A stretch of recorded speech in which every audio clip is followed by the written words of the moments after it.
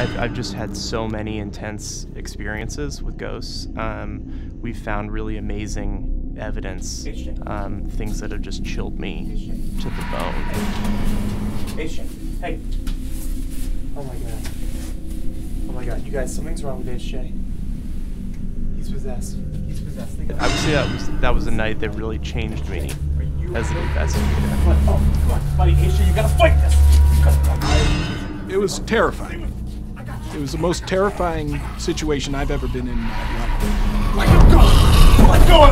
Let go of! I think that was incredible. That was a really just bone chilling. What's happening? What's happening? You're okay. That's okay. Oh my god. It's okay. Oh my god. I got you. I got you. That's okay. Oh my god. Sometimes I question Nate, uh, his motivations. Truly think that investigation changed the whole dynamics of the team.